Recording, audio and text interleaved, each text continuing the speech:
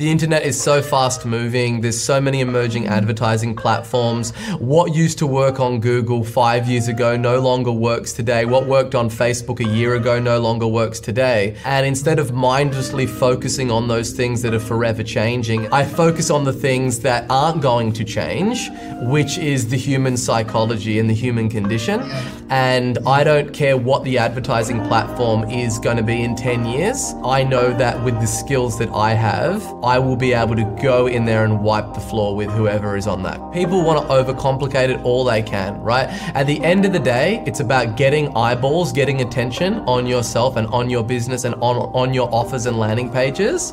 And then after you've been able to do that, it's then about solving the problems that that market has better than anybody else in that market in a more compelling way.